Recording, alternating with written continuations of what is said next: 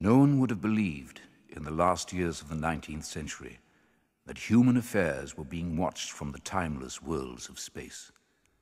No one could have dreamed we were being scrutinized as someone with a microscope studies creatures that swarm and multiply in a drop of water.